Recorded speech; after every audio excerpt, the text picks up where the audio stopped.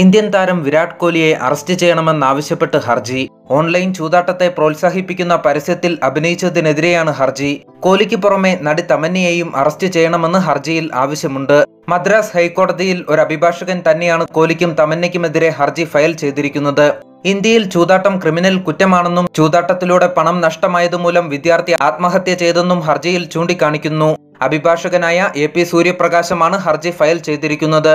Online ചൂതാട്ട ആപ്പുകൾ നിരോധിക്കണമെന്നും ഹർജിയിൽ അഭിഭാഷകൻ ആവശ്യപ്പെടുന്നു. പ്രശസ്ത താരങ്ങൾ ഓൺലൈൻ ചൂതാട്ടത്തിന് പ്രോത്സാഹിപ്പിക്കുകയാണെന്നും പണം സമ്പാദിക്കാമെന്ന് കരുതി പലരും ഈ കെണിയിൽ പെട്ടുപോവുകയാണെന്നും ഹർജിയിൽ ആരോപണമുണ്ട്.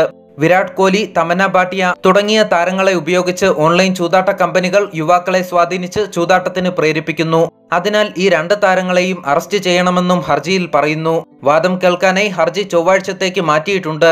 ചൂതാട്ടത്തിൽ ഇരുപതിനായിരം രൂപ നഷ്ടമായതുമൂലം വിദ്യാർത്ഥി ജീവനൊടുക്കിയ സംഭവം ഏറെ വിവാദമായിരുന്നു. ഇതൊരു ഗുരുതര സ്ഥിതി വിശേഷമാണെന്നും എളുപ്പത്തിൽ പണമുണ്ടാക്കാമെന്ന് കരുതി യുവാക്കൾ ഈ കെണിയിൽ വീഴുകയാണെന്നും ഹർജിക്കാരൻ പറയുന്നു.